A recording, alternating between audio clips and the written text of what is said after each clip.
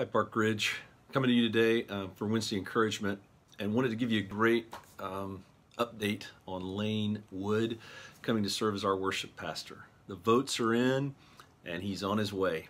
So we hope to have him leading in worship uh, the last Sunday of July and we're looking super forward to that and eventually their family moving down hopefully around that time or soon after. A couple of prayer requests. Number one, pray that they can sell their home in North Carolina in preparation to move here.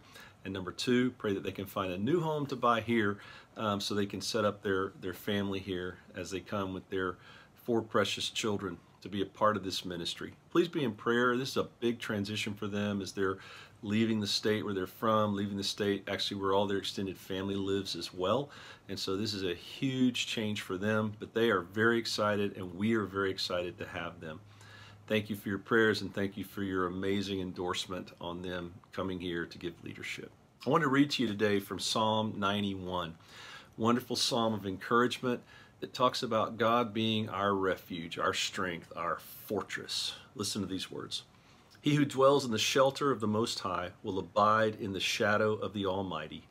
I will say to the Lord, my refuge and my fortress, my God in whom I trust for he will deliver you from the snare of the fowler and from the deadly pestilence. He will cover you with his pinions, and under his wings you will find refuge. His faithfulness is a shield and a buckler.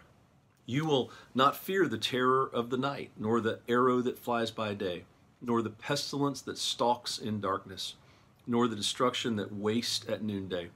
A thousand may fall at your side, 10,000 at your right hand, but it will not come near you. You will only look with your eyes and see the recompense of the wicked.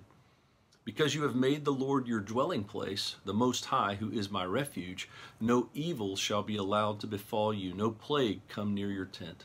For he will command his angels concerning you to guard you in all your ways. On your hands they will bear you up, lest you strike your foot against a stone. You will tread on the lion and the adder, the young lion and the serpent you will trample underfoot. Because he holds fast to me in love, I will deliver him. I will protect him because he knows my name. When he calls to me, I will answer him. I will be with him in trouble. I will rescue him and honor him. With long life, I will satisfy him and show him my salvation. Thanks be to God for his word, for his encouragement. And our prayer for you is that you will have a phenomenal rest of this week as you prepare your hearts to worship this coming Sunday. God bless you, Parkridge.